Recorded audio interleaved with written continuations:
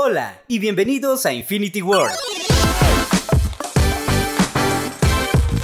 Si eres amante de los bosques, el clima frío y los destinos entre montañas, este video es indicado para ti. Hoy te presentamos increíbles lugares para visitar, ubicados en los departamentos más fríos de Guatemala. Además, son buenos sitios para desconectarse y darte unas merecidas vacaciones.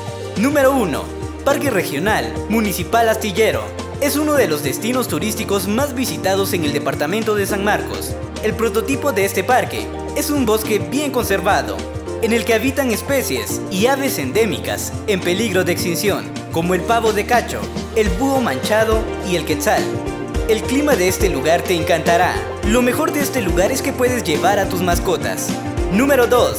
Parque Ecológico Chajil Siwan este parque cuenta con muchas actividades al aire libre para que disfrutes de la flora y de la fauna de Totonicapán.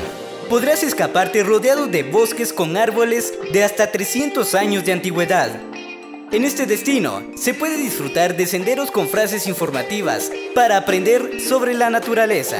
También ofrece canopy, espacio con juegos infantiles, restaurantes con comida tradicional, puentes colgantes y mucho más. Número 3. Laguna Chicabal. Este maravilloso destino es considerado uno de los lugares más sagrados y más místicos del país. La Laguna Chicabal se encuentra en el cráter del volcán que lleva el mismo nombre.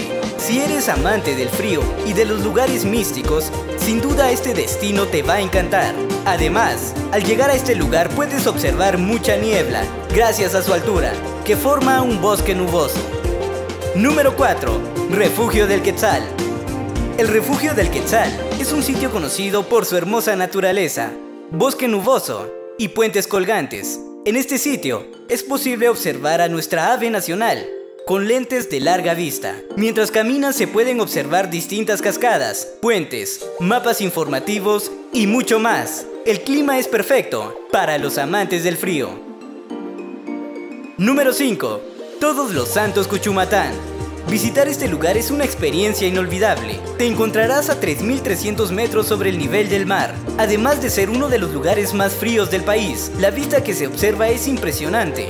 Debido al bosque nuboso y un clima espectacular, podrás visitar el increíble mirador Juan Diegues Olaverri y el restaurante Café del Cielo.